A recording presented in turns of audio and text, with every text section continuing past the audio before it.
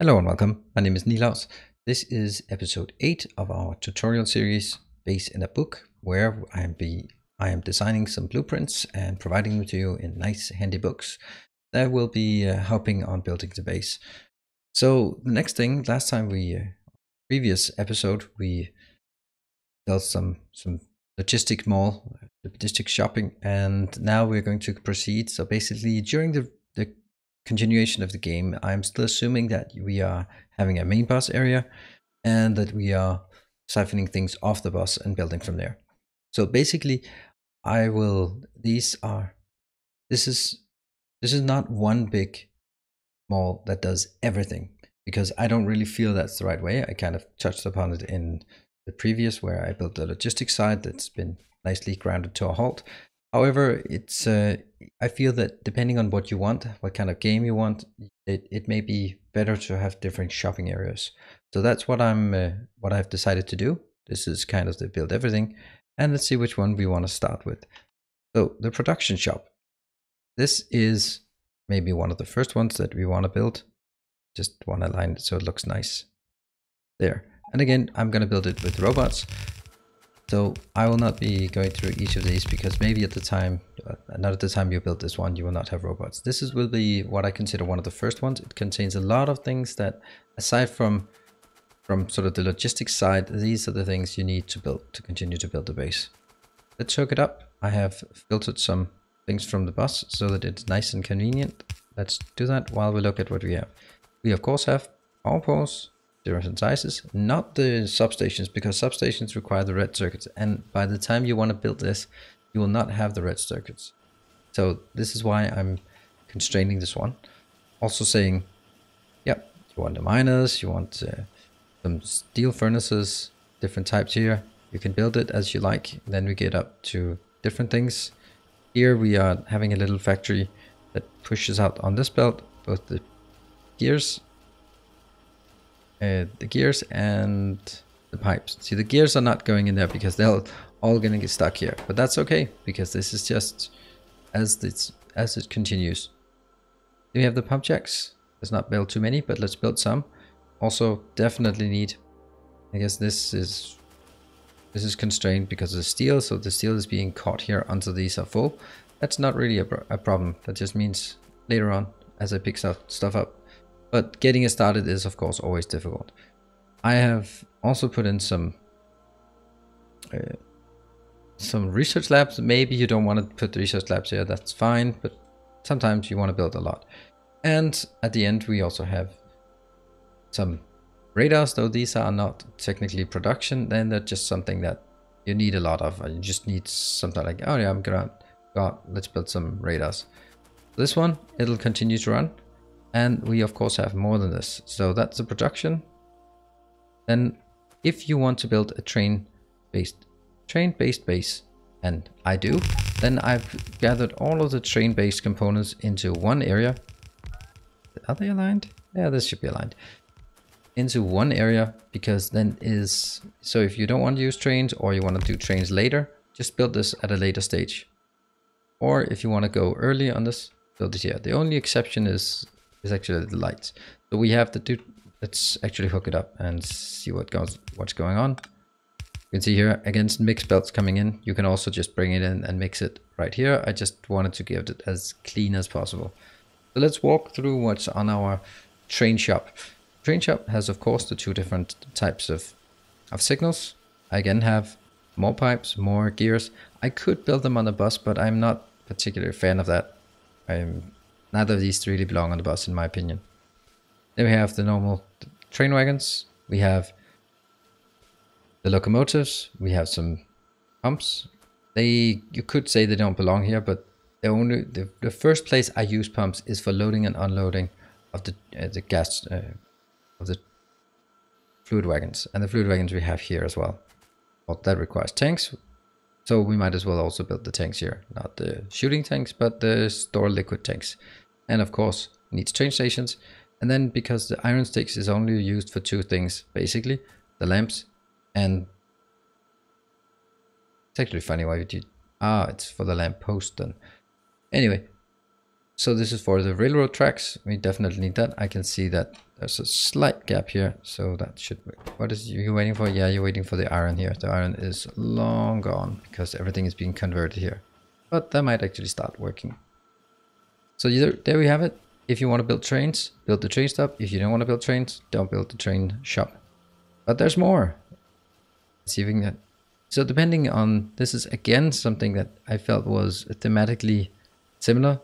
This small little one is related to the circuit network.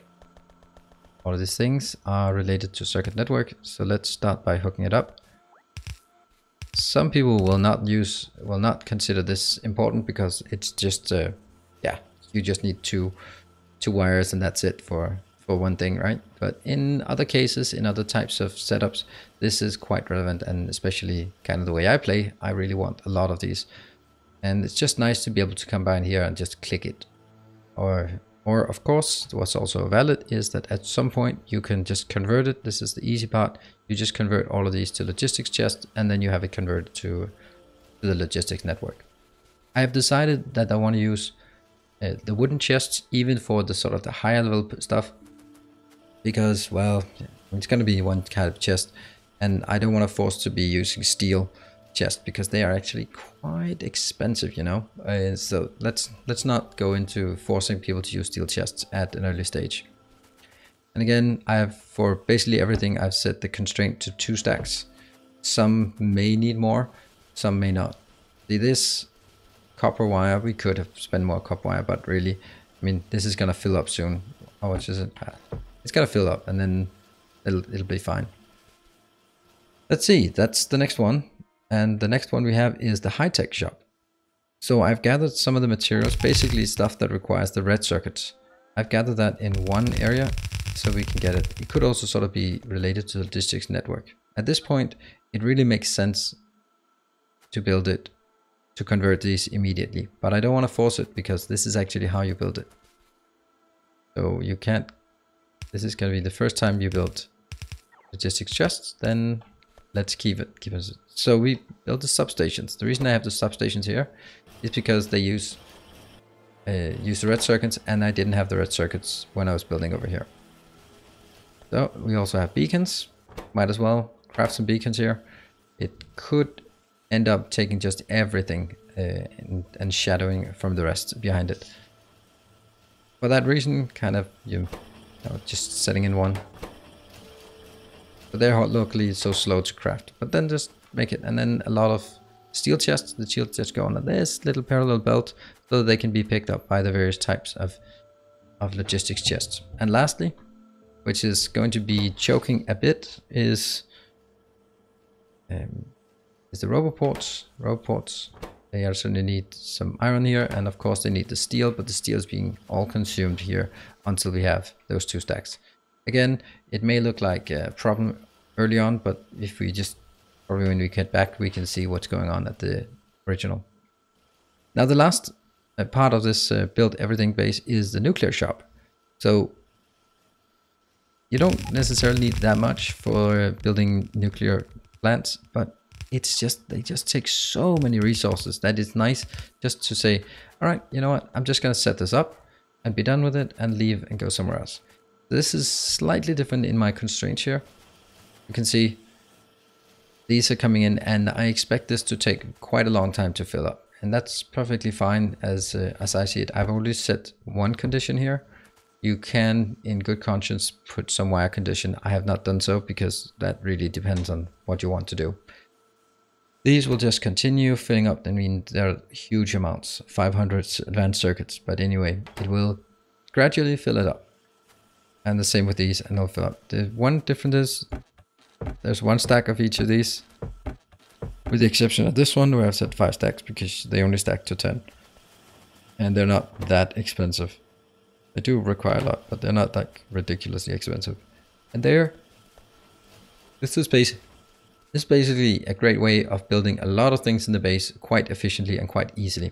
What I'm sure that some people would be thinking is, yeah, but to build everything that's sorted by robots. And that's sure, sure that that's perfectly all right. And when I get robots in, I mean, I have robots in this uh, sample game, but by the time you want to create your first oil outpost or your first chemical plant, or just go out and put some radars down or build like capture the first mining bases, get your first hit, you do not have robots. Even to the point where building the first nuclear, some would argue, and I would actually go so far as to say, tech-wise, I would prefer going nuclear power before going uh, logistics network.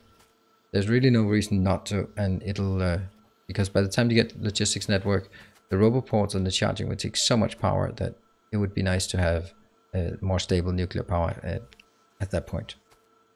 So that's why I've decided to do this. This can of course be uh, changed into a robot fed one, but the robot fed one is extremely easy to build. So there's not really any point in having in having um, a tutorial for it. It just makes more sense to make a tutorial for this because this can be quite a daunting task to set it up and make figure out what the themes are because you can see there's no green circuits over here um, there's only a bit of iron going in there while some of the other ones are very iron intensive like this one is the original one here is very iron intensive.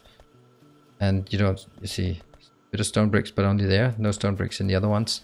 You know it's it's quite simple the way that it's been structured. Also these oops, that's probably too much to scale up at that size. Anyway i really hope that this is uh, is beneficial. This is an extremely easy way just to get to get sorted uh, and with this setup well you will basically have everything you need and you can just come by this area click it and it doesn't take up too much space. So I hope you enjoyed it. If you do, then leave a comment, leave a like and subscribe for more content such as this or other content. And I hope you enjoyed it and see you around. Thank you very much.